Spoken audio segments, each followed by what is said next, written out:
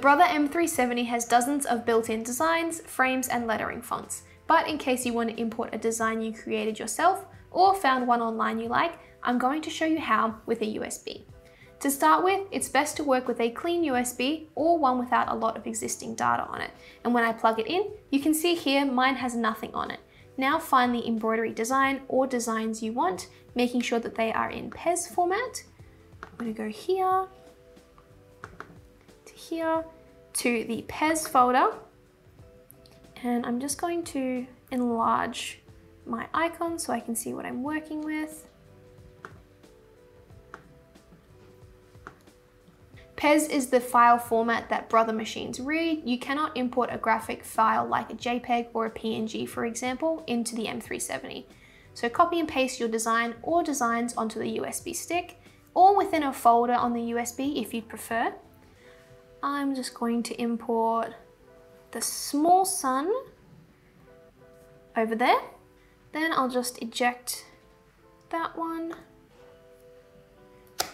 Plug the USB stick into the USB slot on the right hand side of the machine and allow the machine to read and identify the designs on the USB.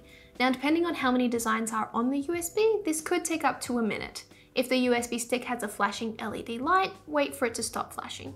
Then press the pocket icon in the bottom right corner of the screen, and then the USB icon.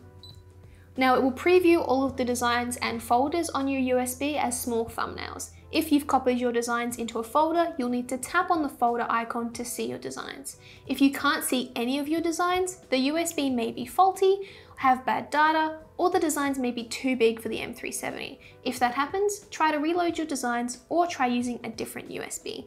The design I'm using for this video is part of the Decorative Suns design pack, which you can find on our website. So find the design you're wanting to use, tap it, and press set to load it into the editor. From here, you can move the design, resize it, rotate it, change the color palette, mirror the design or add to it or delete the design. Once you're happy with the design, you can hit edit end and this screen allows you to move all of your designs at once within the frame. I've only got the one, so it doesn't really matter.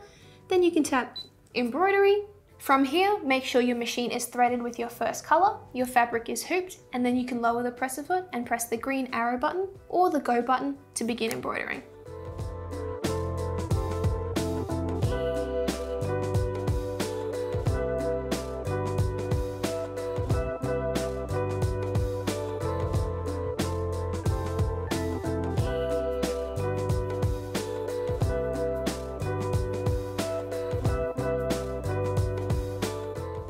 And that's how you can import designs via a USB to your Brother M370 machine.